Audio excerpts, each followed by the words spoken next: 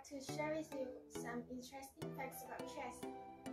Chess is quite a popular game nowadays, but when talking about it, people usually just know that it has 64 squares, two colors black and white, but there are many more interesting things about this.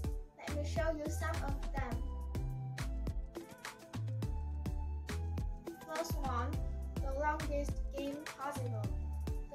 Longest chess game that possible in theory is about 5,949 moves. In 1989, the longest chess game in the world has played in an official tournament.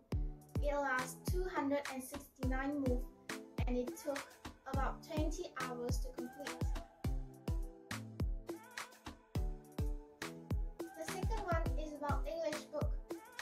Book to be ever printed in English language was about chess. Thirdly, the first chessboard.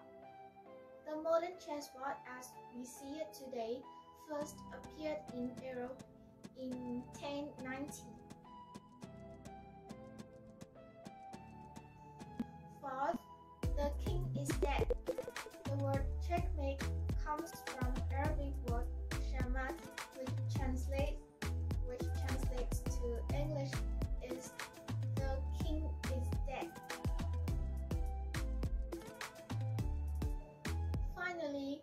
new pawn move.